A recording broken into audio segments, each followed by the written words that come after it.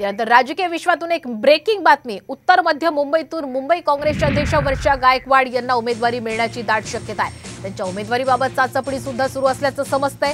विशेष म्हणजे याच मतदारसंघासाठी माजी आमदार नसीम खाल हे देखील इच्छुक असल्याची माहिती मिळते. दरम्यान वर्षा गायकवाड दिल्लीत काँग्रेस हायकमांड यांची भेट सुद्धा घेणार आहेत. वर्षा गायकवाड दक्षिण मध्य मुंबईतून लढण्यासाठी आग्रही आहेत. मात्र ठाकरे गट दक्षिण मध्य मुंबईची जागा सोडण्यास तयार नसल्यामुळे आता उत्तर मध्य मुंबईतून उमेदवारी मिळण्याची दाट शक्यता आहे. तर आपण पाहतोय वर्षा गायकवाड यांच्या बाबतीत आज निर्णय होण्याची शक्यता वर्तवली जाते त्यांची दिल्लीवारी सुद्धा आहे. आज हायकमांड यांच्याशी ते चर्चा करतील आणि उत्तर मध्य मुंबईतून कदाचित मुंबई काँग्रेसच्या अध्यक्ष असणाऱ्या वर्षा गायकवाड यांना उमेदवारी मिळण्याची दाट शक्यता सुद्धा वर्तवली जाते त्यांच्या उमेदवारीबाबत चाचपणी सुरू असल्याचं सुद्धा कळत आहे विशेष म्हणजे याच मतदारसंघासाठी आता माजी आमदार नसीम खान हेही इच्छुक आहेत.